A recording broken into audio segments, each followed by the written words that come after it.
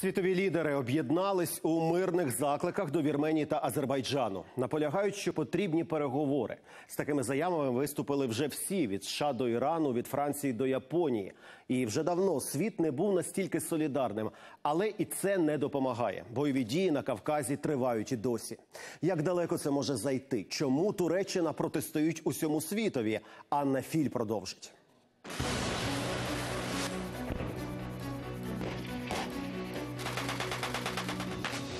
Заморожений конфлікт, який знову став гарячою точкою.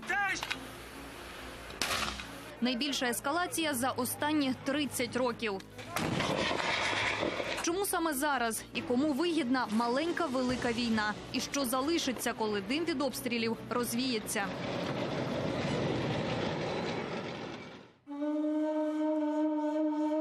Лачинський коридор. Ці 10 кілометрів гірського серпантину називають дорогою життя. Вона з'єднує Вірменію і нагірний Карабах, ніким не визнану республіку, в яку не їздять потяги і не літають літаки.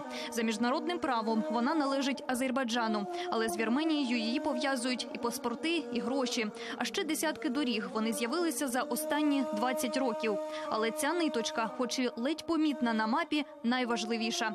Кільце обстрілів усе ближче до Лачина. Я хочу заявити чітко і ясно: Азербайджан ніколи не захопить нагірний Карабах. За часів союзу регіон належав саме Азербайджану, але жили там етнічні вірмени. Наприкінці 80-х вони захотіли повернутися до складу сусідньої республіки. Почалася війна, яка забрала 20 тисяч життів. Як наслідок, Вірменія захопила і Карабах, і довколишні території. Нині Азербайджан прагне реваншу. Bir şartımız var. У нас є лише одна умова: вірменські війська мають негайно і повністю залишити наші землі. Мене переповнює гордість. Ми так давно чекали цієї миті 25 років. Вірю, що нарешті ми повернемо те, що нам належить. Вірменія запевняє, першим наступ почав Азербайджан. Азербайджан дав старт масштабній агресії. Вони обстрілюють мирних жителів, зокрема в столиці нагірного Карабаху Степана Керті. У Баку кажуть, вони лише відповіли на провокацію. З'ясувати, хто правий, неможливо. Як і дізнатися точну кількість жертв протистояння. Війна ведеться і справжня, і інформаційна. Азербайджан заявляє, що знищили тисячі вірменських солдат. В Єревані твердять, збили кілька літаків і вертольотів противника. Свої втрати сторони применшують, але війну транслюють в усіх деталях, намагаючись довести власну перевагу. На землі артилерія і бронетехніка уперше від 90-х. У небі гелікоптери і безпілотники воюють не лише місцеві. Єреван запевняє, що на боці Азербайджану є найманці з Сирії. Таке ж про супротивника говорять і в Баку. Азербайджан відкрито підтримала Туреччина. Анкара навіть не виключає свого безпосереднього військового втручання.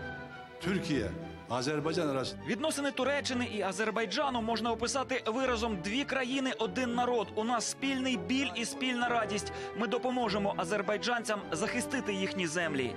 Саме турецький фактор нове в нинішньому загостренні. Анкара завжди підтримувала Баку, але за останні кілька років Туреччина перетворилася на одну з наймогутніших держав у регіоні. І тепер своя лінія в Карабаху для неї зайвий привід заявити про власну значимість. За Вірменією ж, хоч і не так явно, стоїть Росія. І саме від того, чи домовляться між собою ці держави, залежить усе. станом на сьогодні ні Вірменія, ні Азербайджан вони не мають ресурсів для, е, скажімо так, війни, яка б довжилася більш ніж е, декілька тижнів. Якщо а, Росія, можливо, інші держави захочуть спробувати грати вдовгу або відстоювати свій вплив, тоді війна може затягнутися до року. Поки Москва закликає сторони до переговорів, як і Сполучені Штати та Франція, офіційні посередники звертаються до Анкари. La France, au sein du groupe de Minsk, Франція, як член мінської групи з врегулювання конфлікту, надзвичайно занепокоєна войовничими заявами Туреччини. Для нас це неприйнятно.